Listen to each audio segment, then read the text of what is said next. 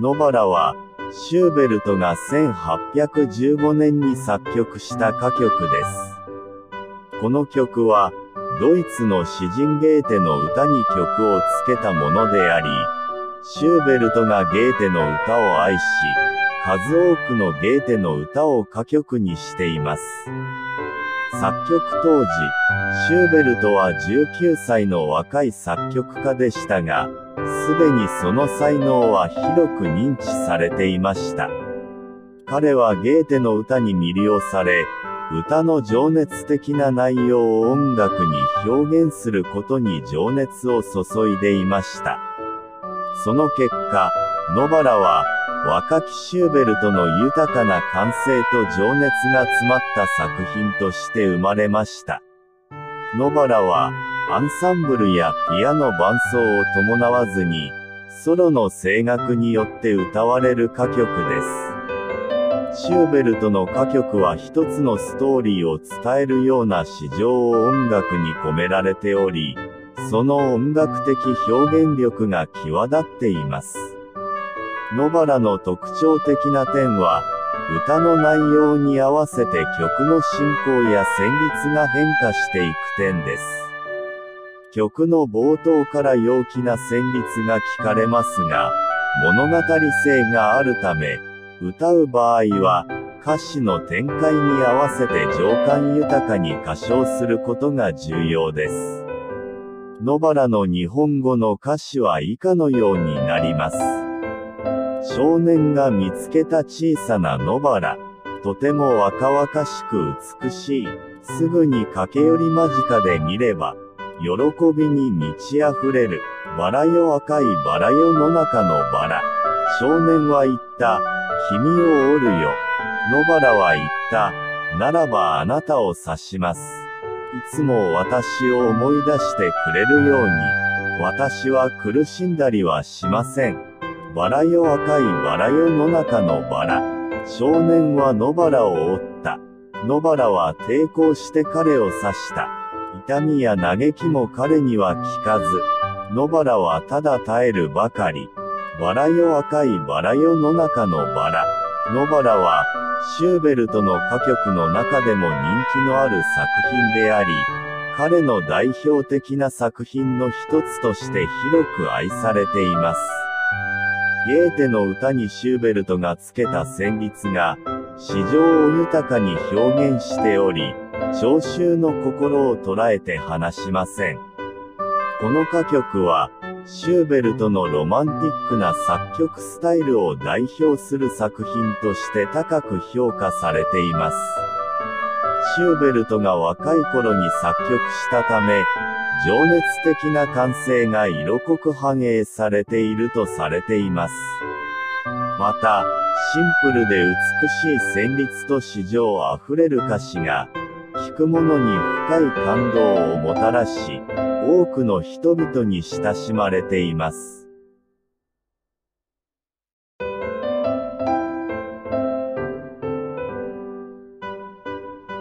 シューベルトは、19世紀初頭のオーストリアの作曲家であり、ロマン派音楽の重要な代表者の一人として知られています。シューベルトは1797年1月31日にオーストリアのウィーンで生まれました。彼は12人兄弟の4番目の子供として生まれた音楽一家の出身で、父親は教師で作曲家、母親は素晴らしい歌手でした。シューベルトが幼い頃から音楽に親しんで育ったことは、後に彼の音楽の才能を開花させる基盤となりました。幼少期から音楽に触れる機会に恵まれ、5歳からピアノを学び始めました。その後、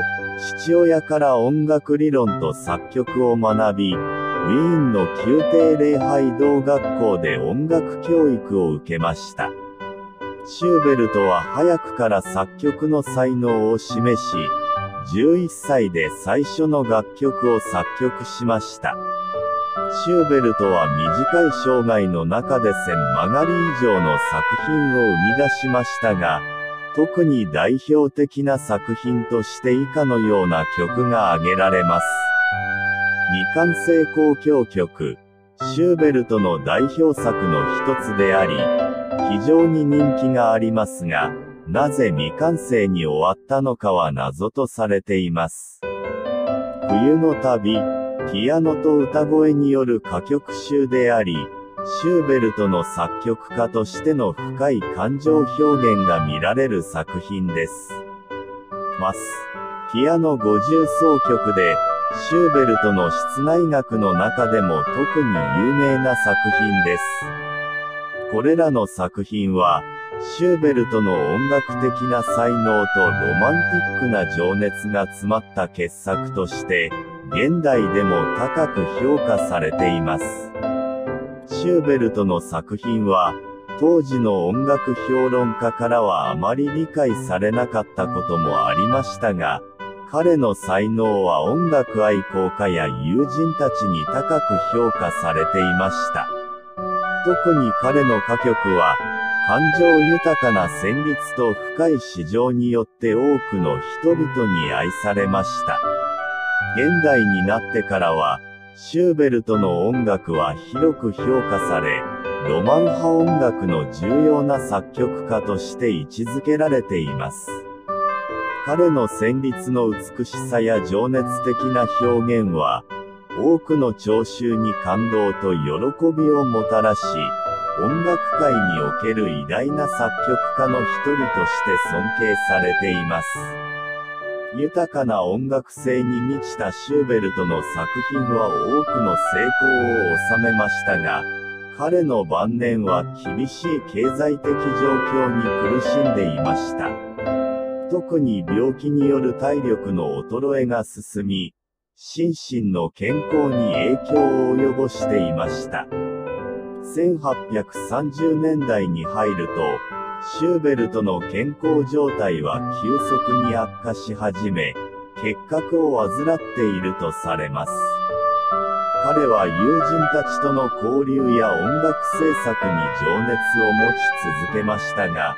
体力的な問題によって作曲のペースが落ちることもありました。1838年11月19日、フランツ・シューベルトはわずか31歳の若さでこの世を去りました。